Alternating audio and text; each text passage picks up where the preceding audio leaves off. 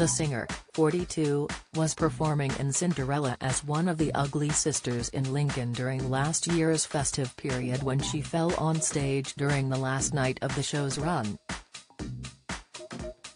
Writing in her column for New Magazine, she said, I was walking off the wings and I fell down a platform after tripping over.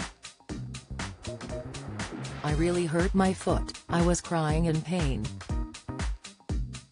Kerry then revealed that it was her daughter Lily, 19, who came to her rescue after the particularly nasty fall. Her daughter took over the role and described her stand-in as amazing. Piers Morgan fumes over Meghan's rejection of Jeremy Clarkson apology on using Lily as her replacement for the pantomime finale. She wrote, she literally had five minutes to get changed and get one stage. I was blown away by her. Thank God she was able to save the day. Lily is Kerry's second child who she shares with former Westlife singer Brian McFadden. But there was more misery for the whole again singer, as she also shared that a scheduled stomach and eyelid surgery was cancelled at the last minute. The mum of five said she was left crying her eyes out. Writing for OK. She told readers that she had been struck down with a nasty virus that ruined her Christmas. With the former Atomic Kitten singer being so poorly, doctors refuse to perform any surgery until she gets better. I have booked the whole of January off around this surgery, but as you all know I was really poorly over Christmas.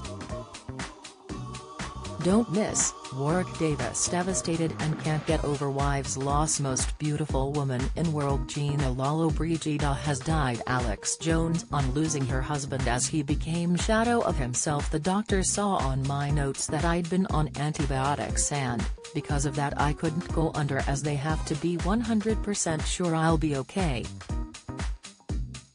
She continued, I was crying my eyes out. I'm at home. I've cancelled all my work for weeks. But fair play to them for thinking about my health first. Kerry also admitted that she is sick to death of being ill. In December she took to her Instagram page to post a video about being fed up with moaning about her health. She said, I am sick to death of moaning and complaining about being poorly. I ruined my whole panto experience. It's ruined my Christmas. It's really got me down because I am normally the person who is full of morale and keeps the energy up. All I'm doing is moaning and complaining. I just want to feel better because I haven't got long left, in Panto, and I haven't enjoyed it, because I've been so bloody poorly. Am sick of bloody moaning about it.